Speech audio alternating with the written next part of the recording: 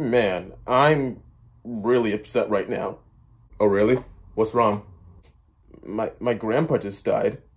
He, he was in the hospital for months. My, my family and I thought he was he was gonna make it, but but he didn't. And worst of all, I I didn't get to say bye to him.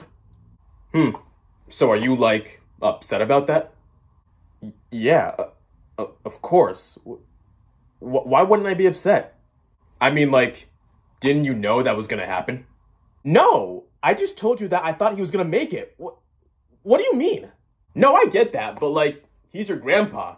He's really old. His time was probably already up. Like, you know what I'm saying? Are you like for real right now?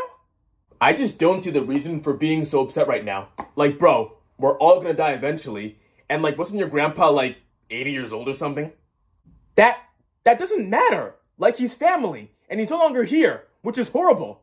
Like like what are you not getting about that? I mean, yeah, but don't you have your other grandpa? Actually, no. He died 3 years ago. You'll get over this. Maybe. I mean, you got over your other grandpa dying. Um, what are you doing? Looks like I'm going to another funeral.